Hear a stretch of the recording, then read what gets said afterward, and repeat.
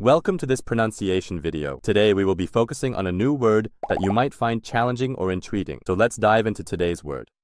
듣는 걸, which means Listening in Korean. let's say it all together. 듣는 걸. 듣는 걸. 듣는 걸. One more time. 듣는 걸. 듣는 걸. 듣는 걸. Thank you for joining us on this adventure in pronunciation. Remember, language is a journey, not a destination. Keep exploring, experimenting, and expanding your linguistic horizons. We'll see you next time.